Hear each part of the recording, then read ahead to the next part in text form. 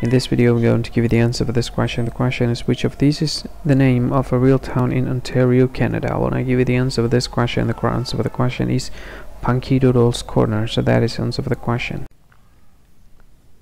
Hi, thank you so much for watching this video. If you find this video is very useful, you can help this channel to grow by subscribing this channel. Please this subscribe button and don't forget to like this video.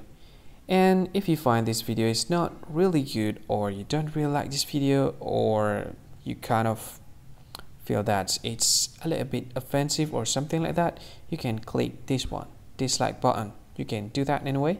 And if you want to share this video with your friend, you can share it by clicking this share button and you can share it to any any social media that you wish that is currently available at this time like Facebook, Twitter, LinkedIn, and many others.